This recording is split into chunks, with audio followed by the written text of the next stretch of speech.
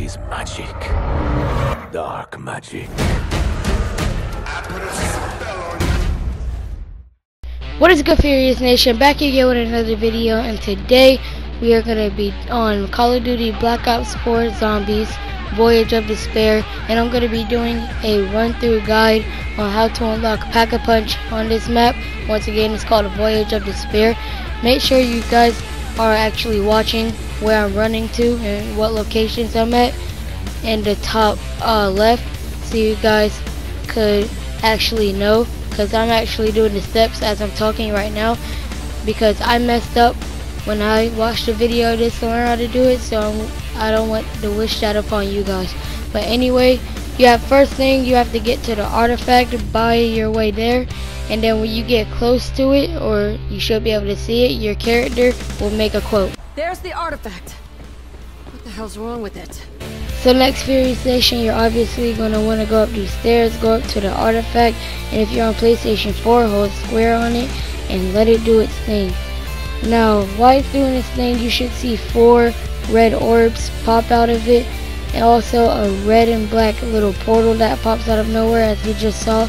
And those four orbs are all over the Titanic, aka Voyage of Despair, and you have to locate them, and they're floating above statues that look like this and as you can see the light flickers on once you hold square on that statue which shows you that you have completed the first orb. Now what I'm doing right now is getting a weapon so that I have zero chance of dying while I'm trying to do this. But anyway you go down here go down these stairs. You keep going down this hallway. And one more time guys there are four orbs around the ship that you have to get. And make sure to pay close attention to where I'm going so that you won't go to the wrong place and end up saying what is he talking about? or something like that.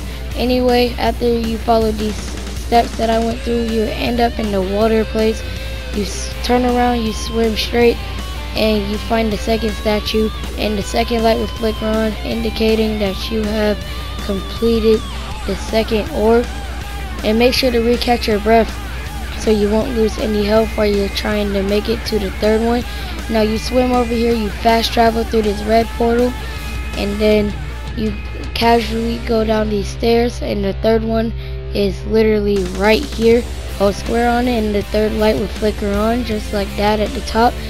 And then you're gonna have to go up three stories in order to get to the last one. See, that's one, that's two, and that is three right here and then you go into this room and you have to run all the way back to the spawning area for the fourth and last one guys so the same way that you went to the first one but kind of different. But anyway this door is now open.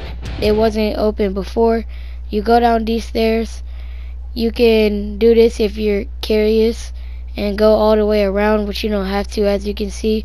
Open this door and you end up in another water place and you go down here. You don't turn around but you go over here.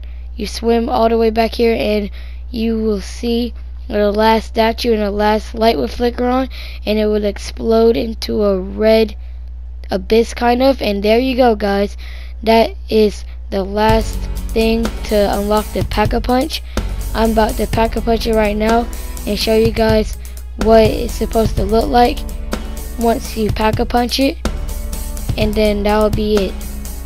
So guys that is what it will look like once you pack a punch it. That's how it will shoot that's what it the color would look like once you shoot the bullets out it's pretty awesome leave a like on this video if you guys got help from this and I hope you guys enjoyed this video. Don't forget to like, subscribe, comment, all of that.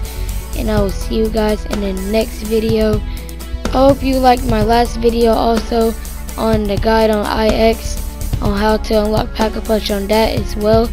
If you haven't watched that one, go watch that one too if you're going to plan on doing the Easter egg for every single map. I will have a guide on how to do the Blood of the Dead Pack-a-Punch soon.